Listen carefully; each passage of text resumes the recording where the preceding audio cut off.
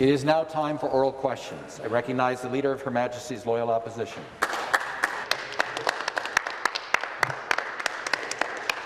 Well, thank you uh, very much, Mr. Speaker. My uh, question is for the uh, Premier.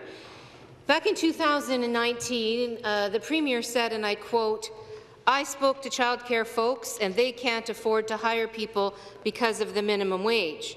But in fact, it's because of the Premier's low-wage policy that we can't get workers in childcare, Speaker. Without a childcare deal, Wages for childcare workers will not increase in this province. Childcare workers, like everyone else, are facing a higher-than-ever cost of living in this province, and a deal would go a long way to helping them earn the earnings that they need and deserve uh, to build a good life in this province. So my question to the Premier is, why does he think that childcare workers should be paid the minimum as part of his low-wage policy, and is that why he's holding up the childcare deal with the federal government. To respond for the government, the Minister of Education. Well, thank you very much, Mr. Speaker. On the contrary, the government is committed to getting a good deal, a fair deal for the people of this province. What we are asking members opposite to do is stand with the people of this province to extract a better deal, more sustainable, with a higher level of investment from the federal government. We recognize childcare costs are too high for too many families in this province. It was a legacy of the former Liberal government that is unacceptable, 40 per cent above the national average. The Premier and this government has invested every single year to build new spaces, 30,000 spaces with a billion-dollar allocation, and make childcare more affordable through the introduction of the Ontario Child Care Tax Credit opposed by the Democrats and Liberals in this House. We're going to stand up for affordability. We're going to urge the federal government to invest in this province and make childcare affordable for the people we serve. The supplementary question. Well, Speaker, the Premier got involved, and apparently that's why we can't seem to get a deal here in Ontario. He hasn't mentioned the word, childcare in this legislature since February the 18th, the year 2000, one year and nine months ago. His low-wage policy is what his priority is, he should be negotiating a deal for all of the families who need childcare in this province so that life can be more affordable for them, because we all know the cost of childcare is exorbitant because of the way the Liberals handled childcare when they were in office. When Childcare can cost as much as a mortgage payment Order. in this province. Why won't the Premier do the right thing, get his, get his deal in place, get a deal in place for, so that people will be able to afford childcare and have a bit of relief from the rising Question. cost of living in this province? Minister of Education. Thank you, Speaker. Where the member opposite and I agree is that the former Liberal government uh, left an unacceptable and indefensible legacy of unaffordable childcare that is inaccessible in virtually all regions of this province. We must do better. And it was this government and Premier who, in our first budget, introduced the Ontario Child Care Tax Credit, which provides roughly $1,500 per child in savings. Most regrettably, the Liberals and New Democrats did not think that affordable childcare was important, which is regrettable that they opposed it. But for Conservatives, for progressive Conservatives, we're going to continue to make the case to the, to the federal Liberal government that the program they've offered does not get us to $10, does not deliver a sustainable program that will ensure affordability for decades to come. We want a good deal. We want a fair deal for the people we serve. We're asking all members to stand with Ontario, stand with families to get a better deal from this federal Liberal government. And the final supplementary. Speaker, BC got a child care deal on July 8th, four months ago, more than four months ago. Quebec, August the 5th. Manitoba, August the 9th. Saskatchewan, August the 13th. Alberta, this week. There's no doubt, I think we would all agree, fees went sky high under the Liberal government, but They've continued to go up even further under this government as we lose spaces. Meanwhile, families are left struggling, Speaker, and they are waiting, waiting in anxiety as to what the future holds in terms of this very expensive program that they could get some relief on if this government did its job. Even the Conservative governments around the country and other provinces have managed to get a deal with the federal government. Why is not-for-profit, public, affordable, universal childcare not a priority for this Conservative Premier? Minister of Education. Speaker, our priority is to get a fair share for the people of Ontario. Our priority is to stand up to the federal Liberal government, who we believe is shortchanging Ontario families and parents by not providing the investment our uh, constituents deserve. Uh, our message to the federal government, who contributes currently 2.5 percent of the child care program in this province, is that the program on the table, the offer on the table is insufficient. We look forward to discussing this with the feds to get a deal, to land a better deal that is fair for our families, that will ensure affordability and $10 a day childcare. This province invests significantly in a very comprehensive childcare program, in addition to the uh, all-day kindergarten program that supports early learning for four and five-year-olds. We want the feds to recognize our investment, work with us to get a deal that ensures affordability for all families in all regions of this province. Thank you. The next question, once again, the Leader of the Opposition. Thank you so much, Speaker. Speaker, my next question is also for the Premier. You know, the people of Brampton know exactly how crowded Brampton Civic and Peel Memorial are. They're the ones that wait in pain for hours and hours on end to get the healthcare services that they need.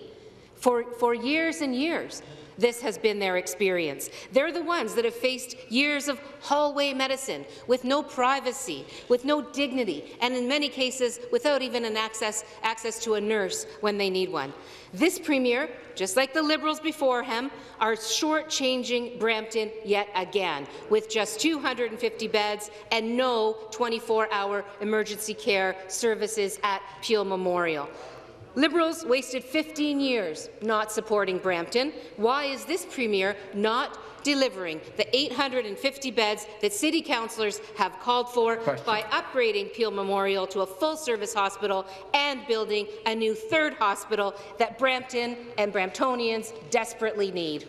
To reply, the Premier. And through you, Mr. Speaker, I can assure the people of Brampton that we're standing up for them after 15 years of being ignored under the NDP and Liberals, they're finally getting a brand new hospital with a 24-7 emergency room. And let me, let me just quote the uh, mayor of Brampton, said recently, Brampton got nothing for two decades. For 20 years, we were ignored despite having institutionalized hallway medicine. Frankly, this should have been done 15 years ago under your watch and under the Liberals' watch. It was totally ignored. We're getting a billion dollars, the largest investment in healthcare in our city's history. This is a significant step forward.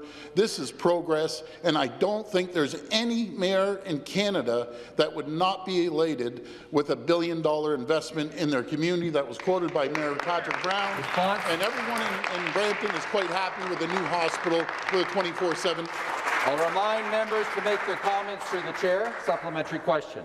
Thank you so much. Speaker, Speaker, Brampton declared a healthcare emergency, a healthcare emergency back in 2020, before COVID-19 even hit. During the pandemic, over 550 patients had to be transferred out because the hospital had become so overwhelmed. Peel Memorial's Urgent Care Centre is already seeing far, far more patients than it was ever even built for. And as we all know, Brampton Civic, because of the Conservative government at the time, opened its doors, uh, and at the minute those doors were open, it was overwhelmed at that point. It was over capacity because of the Conservative decisions in that initial hospital. Look, De Brampton desperately needs a new ER. They need two new ERs. They need the kind of services that they have desperately Order. waited for for two decades under Conservative and Liberal watches. Question. So why is this Premier saying no? Why doesn't he change the fall economic statement and include the necessary funding for Peel Memorial upgrade and a third Brampton Hospital? Deputy Premier and Minister of Health to reply. Well, this, the situation arose in Brampton because of 15 years of inactivity by the Wynne Del Duca Liberals, propped up by Order. the NDP. But we're not doing that. Order. We're standing up for the people of Brampton, and we are there for them. That's why we are saying yes to a new hospital that will provide over 250 new patient beds and include a 24-7 emergency department. They've already received $1.5 million to support planning for this emergency department, which is going to open very soon. In addition, as part of our comprehensive Keeping Ontarians Safe plan, William Osler, operating the hospital received more than $17 million in funding to operate 87 net new acute medical surgical beds to alleviate surge pressures. So we are there for the people of Brampton, unlike the McGuinty Wynne Liberals, Del Duca Thoughts? Liberals, as well, Mi- Premier McGuinty as well. Totally ignored Brampton. We will not Thank you. The final supplementary. Well, Speaker, there is no doubt that uh, that this Conservative government can't change history Order. and can't uh, do an, a, a redo of the failure of the last Conservative government here in Ontario. But what we can do is amend the fall economic statement and build the hospitals that Brampton needs now and that I think we all agree they've needed for decades. Instead of committing to untold billions and billions of dollars to highways designed to make the Premier's buddies rich, next week we can be voting on a motion, we will be voting on a motion actually, to support the new Brampton hospitals that the good people of Brampton desperately, desperately need. So my question to the Premier is, will he and his government support our motion, say yes, say yes to the people of Brampton, and finally build the desperately needed hospitals that they need? Premier. Mr. Speaker, the, the facts are the opposition have said no to the largest healthcare investment in Brampton's history. They voted no. They voted no to historic hospital infrastructure investment in Brampton. They voted no to part with $5.1 billion to support hospitals, creating more than 3,100 additional hospital beds, equivalent of six large community hospitals. The opposition voted no to more than $1 billion for Ontario's COVID vaccination campaign. They voted no to more than 3.7 billion on Ontario's comprehensive testing strategy, and they voted no to add additional 175 million this year for mental health and addiction services. They're a party of no, we're a party of yes. We're moving the province forward. The next question, the member for University of Rosedale. Thank you, Speaker. My question is to the Premier. A new report from the National Bank of Canada shows that it is nearly impossible for a family in Toronto to afford a home. They must now save for an average of 28 years for a down payment and earn $205,000 a year to make the mortgage payment.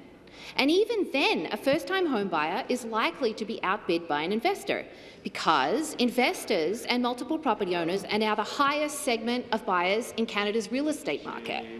And what is this government's response to this housing affordability crisis? They announced in the fall economic statement that they want to study the problem. Premier, a study is not going to help people pay the rent. A study isn't going to help a family buy their first home. This government has made it very clear that big speculators come first in Ontario, and home buyers Question. and renters, they go to the back of the line. Premier, what is your plan to clamp down on housing speculation and help first-time homebuyers? I'll remind members to make their comments through the chair. To reply on behalf of the government, Minister of Municipal Affairs and Housing. Thanks very much, Speaker. Our, our government's priority is to put affordable home ownership in reach for more Ontarians. That's why, prior to the pandemic, we introduced More Homes, More Choice, our housing supply action plan, which, by the way, that member opposite did not support. Oh. What were the results of that action plan, Speaker? Well, let me tell you this. In the middle of the pandemic, even regardless of the pandemic, our housing supply action plan resulted in over 73,000 home starts in 2020 alone. Speaker, that's the highest single year in the last decade. We've had a record uh, purpose-built rental construction starts in, in the province. You go back and you use CMHC figures, we haven't seen that type of construction since 1992, Speaker. But what we do is we know we're in a severe housing supply shortage. We need to continue to build upon our, our More Homes, More Choice plan. So that's why in the fall economic statement, we announced a housing affordability task force. We know housing affordability is out of reach for too many Ontarians, and we're prepared to build upon our previous plan, Speaker. And the supplementary question. Uh, thank you, Speaker, and it's good that the issue of housing supply is being raised. A new report by the OECD shows that Canada has 1.3 million homes sitting vacant right now, at a time when Canada has 235,000 people experiencing homelessness. I'll do the math for you. That is five vacant homes for every person looking for just one. We have a housing affordability crisis. We have renters struggling to find an affordable home because rent is now $1,800 a month for a one-bedroom apartment. If this government is so committed to improving and increasing supply, will you do what the experts and the NDP recommend and raise revenue for affordable housing and increase housing supply by bringing in a fair vacant home tax? Again, the Minister of Municipal Affairs and Housing. Well, again, Speaker, we've, we've been very clear. The Housing Affordability Task Force will look at a wide variety of suggestions and options. In addition, the Premier and I are committed to sitting down with our municipal partners because all three levels of government have a role in housing affordability. We, we've committed uh, with the federal government. Again, I'm still waiting for that member opposite to support our call to the federal government for our fair share. We're, we're short in the national housing strategy based on our core housing needs, some $490 million. $490 million that our local municipal partners could use to build housing rapidly now. Again, Speaker, we're the party to say yes, we want the federal government to give us more. Continually, the NDP keeps saying no. Next question, the member for Niagara West. Thank you very much, Speaker. My question is to the Minister of Infrastructure, and I wish to thank the Minister, uh, Speaker, for coming to my riding, making important investments in our local community infrastructure and in healthcare infrastructure. But what we've really seen as well is that the pandemic has uh, shown how de demonstrated how important it is for people and businesses to have access to reliable and high-quality uh, internet. What we've seen is that the Ontario Liberal government, when they were in office, did very, very little, the bare minimum, to invest in broadband capacity so that businesses could compete in the global economy efficiently and successfully. So, my question to the Minister of Infrastructure, through you, Mr. Speaker, is if the minister can tell what our government has been doing to ensure that Ontarians have access to high-speed internet so they can get on an equal footing with the rest of the modern world. Minister of Infrastructure to reply. Mr. Speaker, I want the people of Ontario to know that we have a plan and funding in place to ensure that residents in every corner of the province have access to reliable, high-speed internet. We have committed to 100% connectivity no matter where in Ontario you live or work by the end of 2025. In April 2021, we passed the Building Broadband Faster Act, legislation that will help remove barriers for service providers to deploy high-speed internet infrastructure. Our government is investing nearly $4 billion, which is the single largest investment in high-speed internet made by any government in Canadian history. Through our ICON program, our $1.2 billion joint investment with the federal government, our reverse auction, and our investment in low Earth satellite technology, no one will be left behind. Supplementary question very much, Speaker, and I know that the minister's investments have made a substantial difference in the lives of so many of my constituents, especially in the southern uh, part of Niagara, throughout Pelham and Wainfleet and West Lincoln. The actions that have been taken are helping to boost uh, productivity and ensure that life is easier for the people of Niagara West. It seems like a no-brainer to me, but the NDP voted against the Building Broadband Faster Act even though they're quick to point out that we need to do uh, more to ensure that we're investing in isolated communities, they're not willing to support the legislation that makes sure we're able to build this crucial infrastructure. They know how critical the access to reliable, high-speed internet is, yet they continue to vote against legislation that aims to achieve connectivity for all. So my question, Speaker, is could the minister tell us more about what the government is doing to support communities with broadband infrastructure in the north and rural communities and across Ontario? Minister of Infrastructure.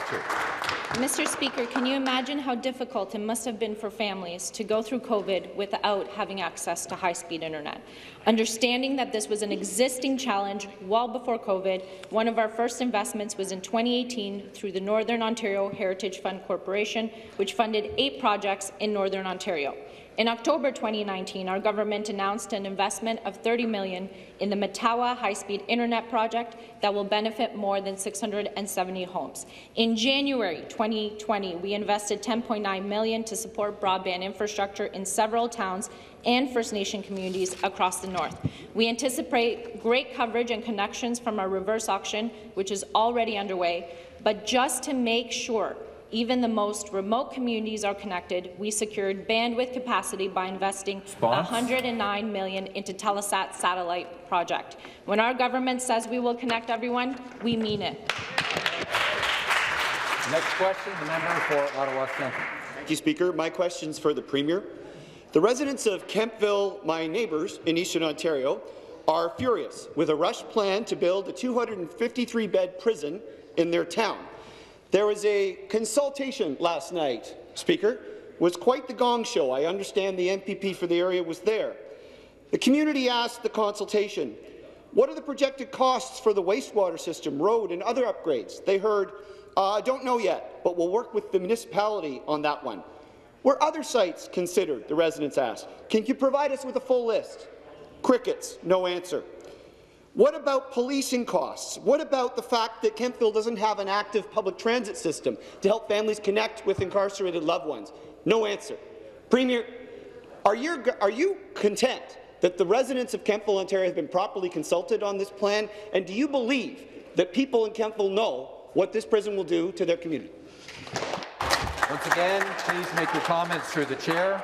To reply, the Minister of Municipal Affairs and Housing. Thanks, Speaker. I'm, I'm pleased to reply. I was uh, on the call last night, uh, the Zoom call that the Ministry of Solicitor General uh, had in that community, uh, as we have the ongoing engagement on the uh, on the Eastern Ontario Correctional Complex. Uh, as the member might not know, the announcement that was made in August of 2020 uh, was for a, a, a, wide variety of expansions in our correctional bundle, including uh, a replacement of the Brockville jail, something myself and the people of Brockville uh, have been asking for many, many years, and in, uh, in addition, an expansion to the St. Lawrence Valley Treatment Centre.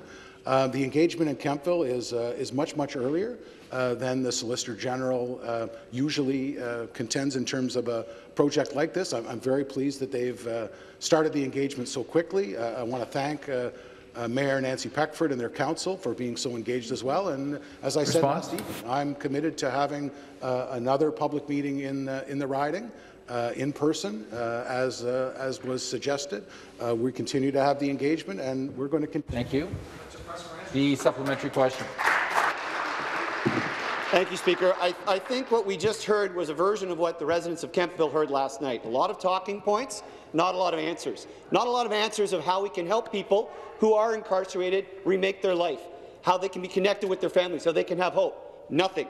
In fact, what this member just told us, Speaker, is that the community is excited about this project, but I would welcome any of us to go on the internet right now and look at the red no jail signs popping up all over Kemptville, all over the community. The same folks behind that local campaign that want their MPP to actually listen to them has been unable to meet with him. He has not taken meetings with them. And in fact, Speaker, it got worse. This member has approached Elections Ontario to tell those local community residents that they were engaging in illegal third-party advertising. That's been his level of response to constituents raising questions Order. about this project. Speaker, Question. people deserve better. They deserve answers. We have to make sure that we give people rehabilitation, a hope in life, not a false sales job. That is not what a government with integrity does. I'm going to ask the member to withdraw. Respectfully. Um, the member noted that I was at the meeting last night. I was at the council meeting in June. I was at the first public engagement section, session next last November. I indicated last night and also in a letter last week to the minister, I wrote to the minister last week supporting uh, Mayor Peckford's call for some of those critical questions to be answered. Answers like uh, security costs, uh, policing costs, the, the, funding formula, infrastructure costs. We, we, also feel very strongly that there's an agriculture opportunity. You know, this was a site, uh, as the House will remember, that the Liberal government closed uh, to agriculture opportunities. We believe there's a significant portion of that property where the proposed correctional facility will go that could be used for agriculture opportunities, which is something Order. the community wants. We'll continue to work with them, Speaker. We'll continue to listen to their concerns and advocate that their questions be answered. And the next question, the member for Guelph. Good morning, Speaker. My question is for the Premier. Under this Conservative government, climate pollution is going up, not down. Every expert, including the Auditor General, has said that the government's made-to-fail climate plan will not meet their weakened GHG reduction targets. As we see the devastating and tragic consequences of the climate crisis in Ontario and across the country, Ontario desperately needs a real plan for real action on the climate crisis. So, Speaker, Can the Premier explain why he failed to instruct his minister to do or announce anything whatsoever on what more Ontario can do to reduce climate pollution while he was attending the climate conference in Glasgow? To reply, the Minister of the Environment, Conservation and Parks. Thank you, uh, Speaker, and it's an honour to rise uh, to answer that question. I was uh, proud to be a part of the Canadian delegation at the COP conference where I spoke about a number of initiatives this government's taking to reduce uh, GHG emissions, like, for example, implementing fuel additives, something the previous government could have done but didn't. That's estimated to take over 300,000 cars off the road. We spoke about adaptation and resiliency, a core concept in Paris. Again, we launched the Climate Change Impact Assessment, something the previous government could have done but didn't. We also spoke about the important role transit plays in getting cars off the road and getting people to use active transportation. We're building subways. We're building GO trains, something the previous government could have done but didn't. Again, I was proud to contribute Ontario's voice uh, to the international Response. discussion on combating climate change, and I appreciate the opportunity to answer. Thank you. Supplementary question.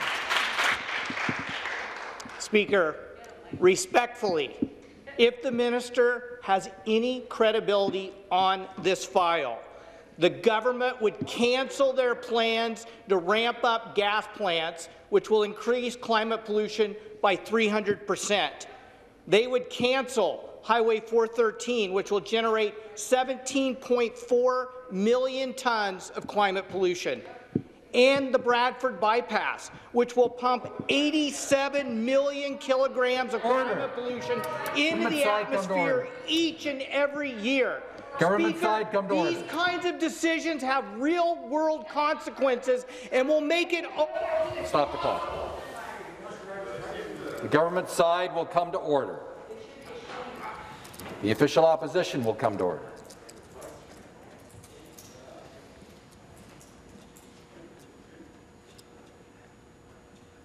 I apologize to the member for Guelph on behalf of the House. Start the clock. Member for Guelph. problem, Speaker. Sometimes the truth can be hard to hear.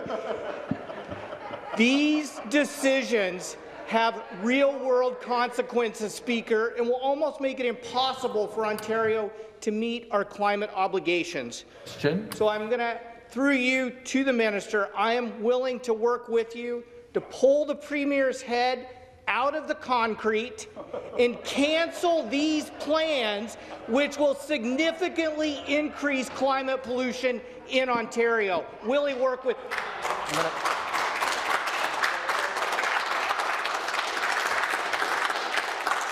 I'm going to caution the member on his use of inflammatory language, and I'll recognize the Minister of the Environment to respond. Thank you, Speaker. Again, let's talk about the truth. Truth. Ontario, Ontario, Ontario is the only province in this nation on track to meet our GS, GHG reduction targets of 30 by 2030. Ms. For Ottawa South will come to order. The Leader of the Opposition will come to order. Minister of the Environment has the floor. Thank you, Speaker. Again, I know it's hard to hear the truth, that thanks to working with Algoma, thanks to the electric arc furnace, we're For taking Hamilton a West, massive step forward in our GHG reduction targets. Thanks to investing in active transportation, investing in public transit, we're taking that step forward. And yes, for new Canadians like my grandfather who came over many years ago with the dream of home ownership was very much a reality. For those new Canadians coming to our workforce today, we're making Response? home ownership a reality for them, which, yes, means investing in transit. Yes, it means building highways so that we can connect people, so that they can get, spend less time in congestion. Thank you. The Minister will take his seat. The Minister will take his seat. Stop the clock.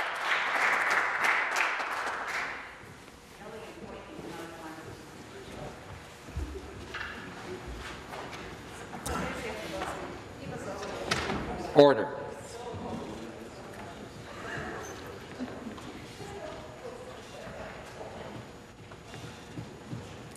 Please start the clock. The next question, the member for Renfrew, Nipissing, Pembroke. Thank you very much, Speaker. And my question is for the Minister of Energy. Speaker, Speaker, I frequently hear from constituents in my riding, as I know members throughout the House hear from theirs, about their energy bills, whether it's heating their home or powering their business.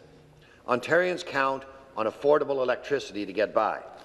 My constituents are very happy to see that their bills have stabilized since our government was elected, and that hydro rates are no longer skyrocketing as a result of the failed energy policies of the previous Liberal government. Our Conservative government was elected by the people of Ontario because they wanted relief for their families and their businesses. To the Minister, can you tell us what you're doing to make energy more affordable here in Ontario? Minister of Energy. Uh, Mr. Speaker, and thanks to the member from the Ottawa Valley uh, for the question this morning. Uh, I know that for far too long, Mr. Speaker, as a, as a critic for energy in this House, and, and, the member was a critic for energy as well, we heard from customers, electricity customers across the province, that electricity prices were soaring and they felt completely helpless, Mr. Speaker. But in 2018, we took office. We began taking steps to reduce the cost of electricity, and we also started taking steps to empower customers more, Speaker. We brought in the Ontario electricity rebate, which is reducing the price of electricity for customers out there by 17 percent. We provided essential support to ratepayers and business owners uh, during the COVID-19 pandemic, uh, up to the tune of three quarters of a billion dollars in relief, Mr. Speaker. And uh, we introduced uh, customer choice, uh, tier Response? pricing, and time of use pricing. We've also introduced the green button, Mr. Speaker, which empowers consumers to take control of their electricity and energy bills in the palm of their hand. Thank you. Thank you. The supplementary question. Thank you, Speaker, and I thank the minister for his answer. I'm extremely pleased to hear about all the initiatives you have brought forward that will help Ontario's hardworking families and businesses. Speaker, while the Liberals spent 15 years tearing down the energy advantage we used to enjoy in Ontario, our government has been hard at work rebuilding our energy sector to bring jobs back to this province and make life more affordable for the people. Minister, could you share more details with the House on the green button standard and tell us how it will benefit the good people of Ontario. Minister of Energy. Again, thanks to the member uh, from the Ottawa Valley for a great question. Green Button is going to allow customers to save up to 18 percent, Speaker, on their bills in the palm of their hand or on their laptop or their home computer, Mr. Speaker. They're going to take control, be able to conserve energy, save money using their smartphones. They can do it with you know, when they're on the GO train, they can do it when they're in their office, they can do it at the hockey rink with their kids, Mr. Speaker. Keep an eye on their electricity and natural gas bills. Our government believes that people know what's best for their families and businesses, and that's why we're requiring that uh, local distribution companies implement Green Button, and Ontarians can easily access the information that they need using apps and save 18 percent Speaker, on their energy bills. This initiative is going to result in lower costs for people out there when it comes to their energy bills. It's also going to create good jobs in the tech sector. It's part of Ontario's energy advantage, Mr. Speaker, and we're making sure everybody can take advantage of that energy advantage. There Thank you. The next question, the member for Algoma, Manitoulin. Thank you, Speaker. My question is to the Premier. Last week, Speaker, seven white crosses went up in M'Chigeeng First Nation. Each cross represents a community member who, was who has lost their life due to an overdose.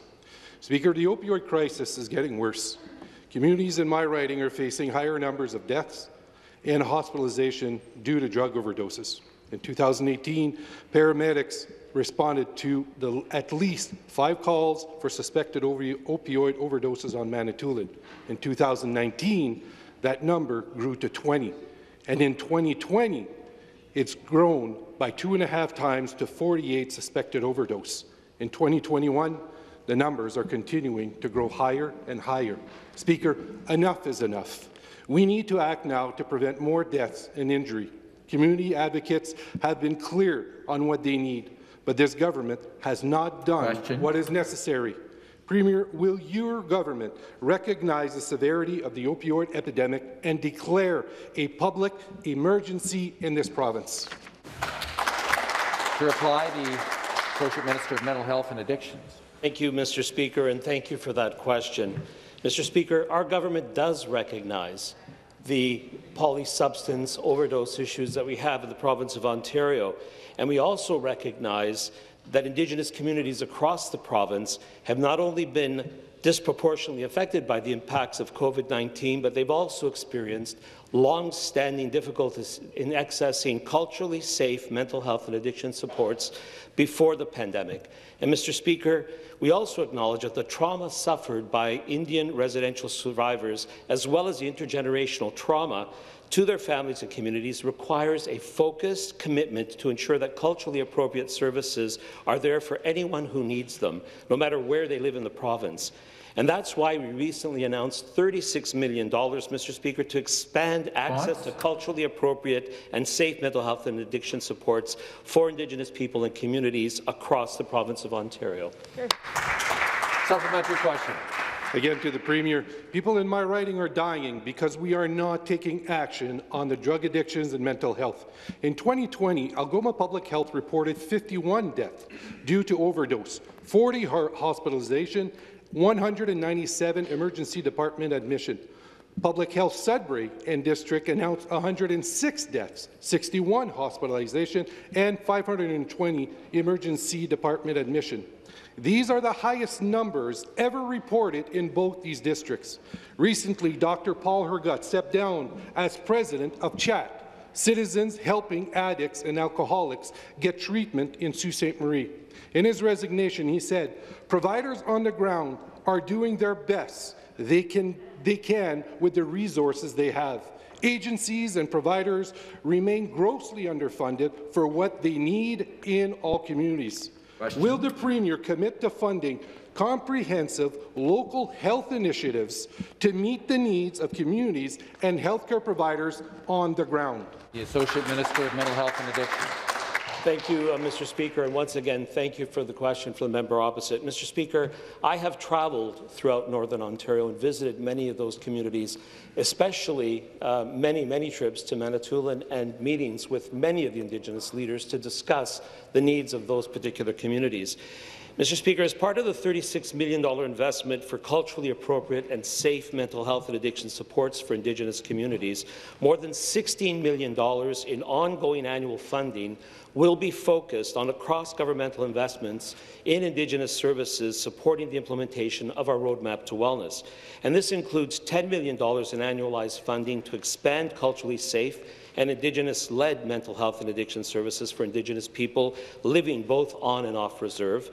Mr. Speaker, for far too long, we know that Indigenous peoples in Ontario have been left Response. on their own to navigate completely fragmented and disconnected mental health and addiction systems caused by years of underfunding by previous governments. Mr. Speaker, it's our job, and we will improve the system and build a connect. Thank you. The next question, the member for Scarborough-Guildwood. Thank you, Speaker. My question is for the Premier.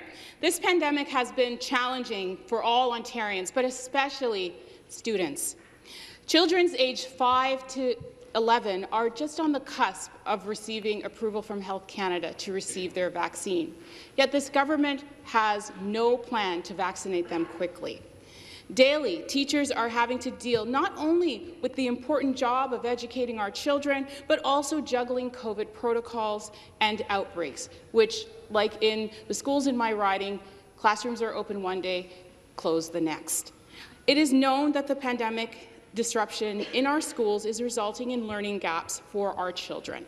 My riding of Scarborough-Guildwood has faced some of the worst moments in this pandemic, and our schools have suffered throughout them all. Speaker, why did this Premier cut a half a billion dollars out of the education budget in Question. this month's fall economic statement instead of investing in our schools why does this Premier think that cuts to education are the best way for the future of Ontario? Minister of Education to reply. Thank you, Speaker. That cannot be further. Uh, that is simply not an accurate reflection of the public accounts, Speaker. Uh, the $500 million increase that was reported in past, $600 million in the last budget, $230 million in the fall economic statement, uh, in fact, underscores one truth The fall economic statement suggests we're actually on track to spend $230 million more than we originally projected, which is already up $600 million year over year. $1.6 billion in COVID resources, $85 million in learning recovery, and a four-time increase over the abysmal investment provided by the former Wynne Liberal government in mental health. Four-time increase. There is no government investing more in public education. We have a plan in place to continue to support immunization. We have one of the highest vaccine rates for youth in Canada and one of the lowest case rates for youth Response? in this country. We're proud of our work following the best medical advice to keep schools open and keep them safe. Supplementary question. Speaker, packed classrooms are the one truth. It is quite clear that this government prioritizes highways, bypasses, over education, childcare and the environment. The FAO's analysis of the government's 2021 budget spending growth, growth projections found that a 1.1 per cent gap between the projected growth in education and what this government is planning to spend is there. What is the plan to close that gap? Ontario's education system is strained. Parents, teachers, students are stressed and tired of the chaos. In my riding of Scarborough-Guildwood, schools are waiting for funding for the much-needed capital repairs. I recently tabled a petition asking this government to fix or replace St. Margaret's School, where students are having to receive their education in portables contaminated with mold. Question. Speaker, my question to this Premier is why is his government choosing to invest in highways instead of making schools like St. Margaret's safe? And the Minister of Education respond. Speaker, if only the former Liberals invested in public education when they were in office for 15 years, we wouldn't have had 600 schools close. We wouldn't have students in grade in elementary schools not able to pass the provincial math standard. We would have had a province where we didn't inherit $15 billion of repaired backlog. I mean, indefensible. That is the legacy of the Kathleen Wynne Del Duca Liberals, and I think the people of Ontario put us uh, elected us to invest in education and to expect accountability for the investment we provide. We are investing half a billion dollars every year to build new schools. We're investing 1.6, uh, 1.3 billion dollars to renew schools every single year. We're working in collaboration with the Minister of Infrastructure to improve childcare access across Ontario and better schools, modern schools with better ventilation and technology and accessibility. We're doing this every single year because we have so much work to do following the disaster of the 15 years of the former Liberal government. Again, I'll remind members to refer to other members by their riding name or their ministerial title. The next question, the member for Kawarth, Haliburton, Kawartha Lakes Brock. Thank you, Mr. Speaker. My question is to the Minister of Digital Government. CBRE, a real estate group that specializes in commercial real estate and in investment, published their Tech 30 report, which lists and ranks the top 30 leading tech markets in the U.S. and Canada. Toronto led all Tech 30 markets for job growth in 2019-2020. This report demonstrates that Toronto is the fastest growing tech market in North America. So, Speaker, through you, can the minister please tell the House how he is working to build a digital Ontario, making public sector services more modern, modern customer-focused, digital and data-driven? Aurora, Oak Ridges, Richmond Hill, and parliamentary assistant. Well, thank you very much, Speaker. And I want to thank the great member from Haliburton to Lakes Brock for the question. Thank you very much. Yes, Speaker, it's true. We're building a strong foundation for a digital Ontario and working with tech sector to make that happen. This report is a testament to our commitment to digital job growth in North America, and we will stand by Ontarians to make sure those numbers keep on rising, Mr. Speaker. Unlike, unlike the previous government, we made digital transformation a priority starting with the creation of an Associate Ministry of Digital Government to ensure that this important work gets done.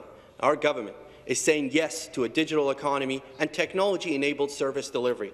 For example, Speaker, we unveiled the province's digital and data strategy, which has allowed us to consult with businesses, citizens and other organizations about how to set up a data authority which will be responsible for building a modern data infrastructure for social and economic benefit for Ontarians. Thank you, Speaker. The supplementary question. Thank you, Mr. Speaker, and thank you to the parliamentary assistant uh, to finance for the answer and the great work that he has done on this file, and it's good to hear that our government is making digital transformation a priority.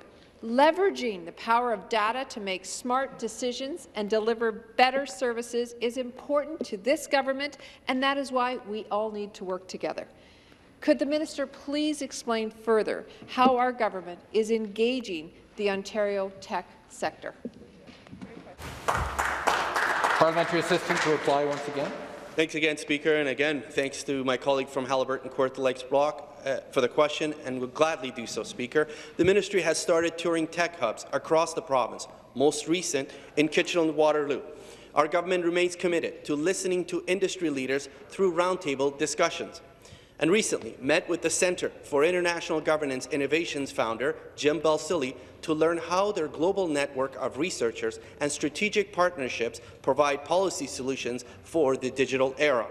We're seeing firsthand how we can foster learning in the tech sector at public institutions. The ministry also toured both the main University of Waterloo and the University of Waterloo's Stratford campuses, where we were encouraged to see digital talent being cultivated, including the Cybersecurity and Privacy Institute.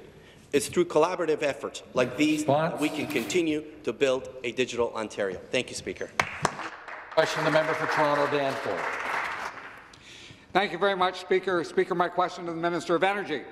This morning, Efficiency Canada put out its annual report on energy savings programs across the country. It reported that when it comes to saving electricity and saving natural gas, Ontario has fallen far behind its performance prior to the last election. Programs have been cut that would have helped homeowners cut their electricity use and cut their electricity bills. Programs to help cut their natural gas use are stuck in idle. And as you well know, the more gas people use, the higher their bills. Why is the minister not restoring programs? Why is the minister not, not driving programs to help people cut their energy use, cut their energy bills, and cut their carbon pollution? Minister of Energy.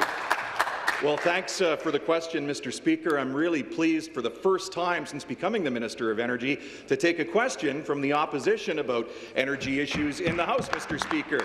And I think it's uh, really important to point out, Speaker, uh, that, uh, you know, back when I was the critic for energy along with uh, my friend from the opposite side, Three quarters of the questions in the House every day were about the high electricity rates or high energy costs in the province of Ontario, and you hardly get a question anymore. And it's because of the good work that we've been doing since we became the government in 2018 to start to lower costs for the people of Ontario.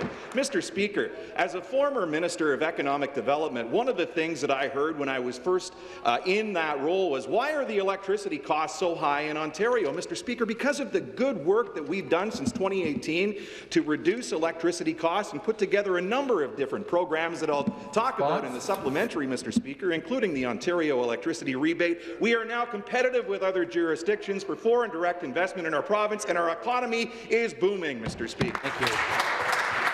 Any supplementary question? Thank you, Speaker. Again to the minister. Notwithstanding that glowing review of his, his own performance, uh, People are hard-pressed. You said you'd cut electricity bills by 12 percent in the last election. You haven't done that. You haven't taken the action necessary to deliver on your own government's climate plan. As you're well aware, the world continues to experience catastrophic climate impacts. This week, people were literally swept to their death off roads in BC by mudslides. Yet Ontario has fallen behind on energy efficiency measures that needs to reduce those carbon pollution emissions, which would also reduce people's energy bills. And we all know people are hard-pressed today. The minister's policies are ignoring his own government's climate Question. Plan. Why won't the minister help people cut their energy bills, go beyond his green button program, and help them protect all of us from the climate crisis? Minister of Energy uh, very much to the member.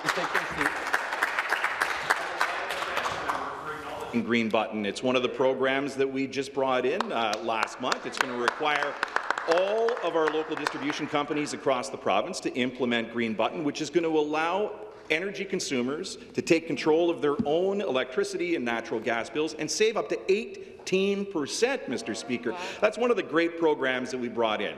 The Ontario electricity rebate, Mr. Speaker, is giving residential, most residential customers across the province a savings of 17% on their electricity bill. And I know when we were both energy critics, Mr. Speaker, it was real easy to stand up every day and ask a million questions of the failed energy policies of the previous Liberal government, Mr. Yes. Speaker. But if we had continued yes. on the same trajectory that Stephen Del Duca and the Liberals Response? had us on, Mr. Speaker, our electricity rates would be going up 7 percent every year, Mr. Speaker. That's completely unacceptable. We won't go down that road again.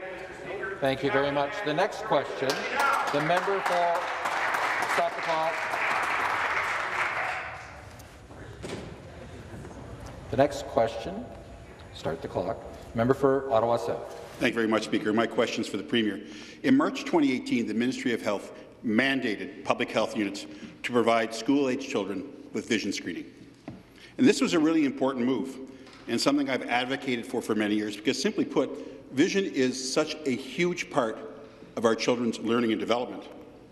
The challenge now, though, is they can get screened, but they can't go to an optometrist to get the help that they need, to get the glasses they need. So, Speaker, through you, will the Premier get his government back to the table and resolve the stalemate with Ontario's optometrists?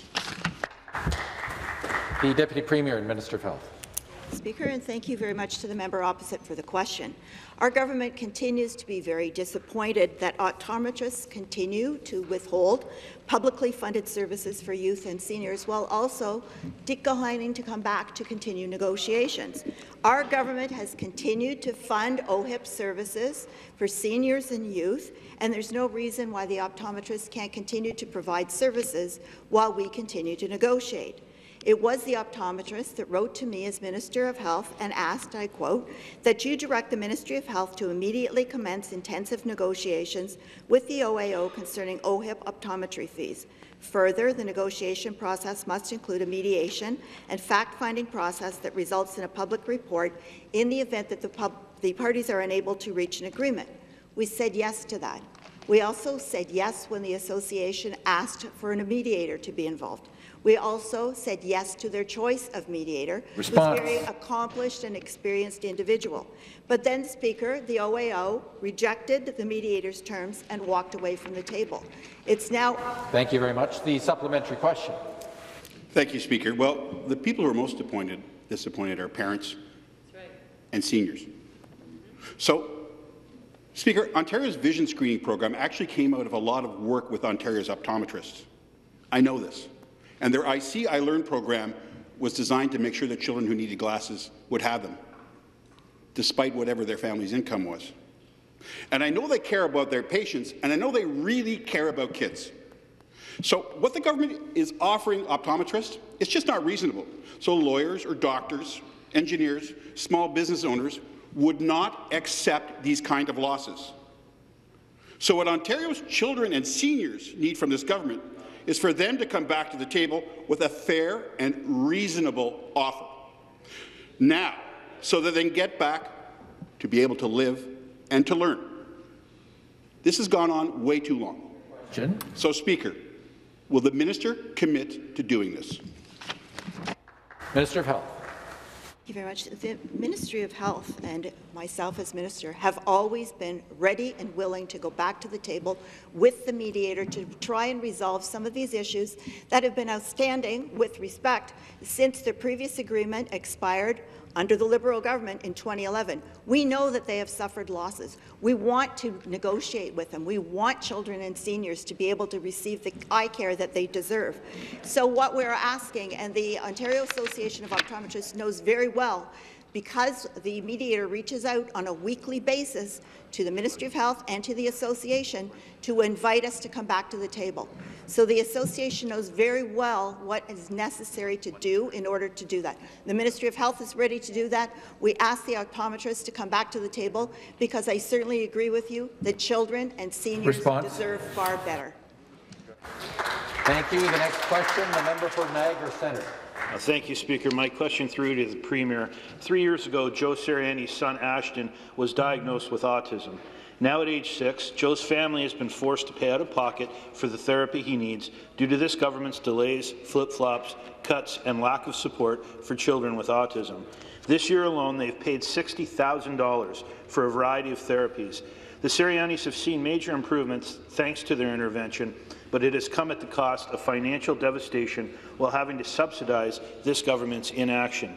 Will the Premier make good on his previous commitments, follow the recommendations of the Ontario Autism Program Advisory Panel, and finally implement a needs-based funding system? And to reply, the parliamentary assistant member for Ottawa West Nepean. Thank you, Speaker, and thank you for raising this important question. Uh, and of course, our government is firmly committed to implementing the recommendations of the Ontario Autism Panel and making sure that we have a needs-based system for all of our children uh, who have autism right across the province. And Speaker, that's why our government also doubled the budget for autism services in Ontario from $300 million to $600 million, the largest amount spent on autism services in Ontario's history. The new Ontario Autism Program is going to provide a range of supports beyond what was previously just offered, including applied behavioral analysis, speech-language pathology, occupational therapy, and mental health supports through our new revised core clinical Response. services program. And that is just one of the four pillars of this new Ontario Autism Program. And Speaker, I'll be happy to speak further on this new plan in the... Thank you. Supplementary. Speaker, what I'm hearing from my constituents who are impacted by this government's neglect of children with autism is that they simply do not trust this government. Joe said to me in an email, and I quote, the Premier is a big bully to these children. Just like a bully will take a child's lunch money, he has taken away their funding and pushed back dates. Speaker, this government promised families like the Serianis that the wait list would be cleared by the end of March 2020. Instead, as we approach 2022, the wait list has ballooned to 50,000. It's past time to stop playing politics with autism services. When will this government stop ignoring the needs of children with autism and support children like Ashton? Parliamentary assistant. Thank you so much, Speaker. And, and, the Premier's commitment to supporting children with autism has been clear. The Premier has appointed two parliamentary assistants to the Ministry of Children, Community and Social Services who have family members with autism who have been involved in this fight for over 20 years. The Premier doubled the Ontario Autism Program budget from $300 million to $600 million. The Premier worked with the autism community, bringing together experts and those with lived experience to design a program designed by the community for the community. Speaker, this program here in Ontario is going to be world-class. You will have core clinical services that are coming online as we speak. We will have foundational family services already online and available. Over 15,000 families Response. already enrolled in these services. Early years and entry to school and urgent response services. All of this in a new program designed by the community for the community. Our commitment is clear. We're going to continue. Thank you very much. Next question, once again, the member for Ottawa West Thank you, Speaker. My question is for the Minister of Municipal Affairs. Speaker, in a move that is the first of its kind in our province, York Regional Council has voted to open up 1,400 acres of greenbelt for development. The redesignation of proposed land, uh, proposed, this proposed this land, protected land, was opposed by York Region staff, the Toronto Conservation Authority, environmental groups, local residents, and the nonpartisan Greenbelt Foundation. The development of these parcels of lands called the Greenbelt Fingers will have negative impacts on important water systems and reduce agricultural activity, a key driver of economic activity in the York region. So, Speaker, the minister received York Region's proposal on Tuesday. So the ball's in his court now. So, Speaker, through you, will the minister do the right thing and defend the Greenbelt, or will the government once again cave to special interests? Question. Response, well, well, Speaker, I, I, think the member sits right across from me. He heard my answer yesterday to the same question uh, from uh, the official opposition. Uh, the member's right. Uh, the Regional Official Plan uh, 7 was just uh, received by the ministry. As the member notes, and as I indicated in the House, the ministry has 120 days to review that application. We're looking at it right now to ensure that it is a complete application and doesn't require further information uh, from York Region. Uh, we're going to take our due diligence as we do on every regional official plan file. There is a process. We're following the process, Speaker. Here, here. Supplementary. Thank you, Mr. Speaker. Uh, well, the government has repeatedly stated its intention to protect the Greenbelt. However, allowing development would do exactly the opposite of what the government says its stated intention is. And since coming to the office, you know, the minister is saying, we're a friend of the environment, uh, you know, except they ripped up all the charging stations. They tore up a plan for climate change. They fired the environmental commissioners. They want to build Highway 413, spending billions of dollars, paving over thousands of hectares of agricultural land to save people 30 seconds. So the minister knows that if he says yes to this, that it's going to set a dangerous precedent. So, Speaker, through you, once again, will the minister do the right thing and say no to opening up this land and protect our greenbelt and our environment? Minister of the Environment. Speaker. It's always an honour uh, to get up and, and, talk about the environment and talk about uh, measures our government's taken. As I said to that member, Ontario is the only province in this federation on track to meet our GHG reductions. That member mentioned coal plants. Try listening. That member mentioned it. This is the same member who last week talked about exercising humility in terms of understanding when decisions were made. In 2001, not one, but two premiers prior to when they formed government, Lakeview committed to stop burning coal. That was done. That commitment to stop burning coal was done under a Conservative premier in the province of Ontario. So perhaps that member could exercise the same humility he espoused just a few days ago. This government will continue investing in transit. This government will continue expanding green space. We'll take no lessons from that previous Response. government, and we look forward to continuing the great work we're doing to protect our environment for future generations. Thank you, Speaker. Thank you very much. That concludes our question period for this morning. The Government House Leader, I understand, has a point of order. Uh, thank you. Uh, thank you very much, Mr. Speaker. Just rise on uh, uh Standing Order uh, 59. Uh, again, thank you, colleagues, for a, a very good week uh, in the House. And uh, know colleagues are uh, looking forward to the uh, ceremony a little bit uh, later on this afternoon. Um, and I hope that all colleagues will have a, a good, good few days in their constituency. So next week, we will begin on Monday uh, with a ministerial, there will be, excuse me, a ministerial statement from uh, Minister Clark on National Housing Day in the afternoon, government notice of motion number eight. On Tuesday, the 23rd, government in the morning, government notice of motion number eight. Uh, before question period, there will be a tribute to a former member uh, um, who has passed. In the afternoon, government notice of motion number eight, and in the evening, uh, there will be two private members' bills on that day. Uh, uh colleagues, uh, PMB ballot item 12 uh, for the member of uh, Toronto St. Paul's and ballot, um, ballot item number 13 uh, for the member of London Fanshawe. Uh, on Wednesday uh, in the morning, we will uh, continue with a reply to the speech from the throne. In the afternoon, opposition day number five, and in the evening, PMB ballot item uh, 14, standing in the name of the member for University Rosedale, and I'm told that that is to be uh, determined uh, at this point, and uh, um, should mention to all colleagues, uh, both sides of the House, uh, that we will be discontinuing the practice of um, whereby if you don't have your private member's bill in time, you will lose your opportunity to debate that private member's bill. Um, this is not to single out the member for University Rosedale. She's done uh, everything that she was uh, asked to do. Uh, on the morning of November 25th, third reading of Bill 27, uh, Working for Workers Act, uh, before question period. Uh, on that day, we will observe a moment of silence for Trans Day of Remembrance. in the afternoon, third reading of Bill 27, Working for Workers Act, and in the evening, ballot item number 15, standing in the name of the member for London North Centre. Thank you, Speaker. Thank you. We have a deferred vote on the motion for second reading of Bill 37.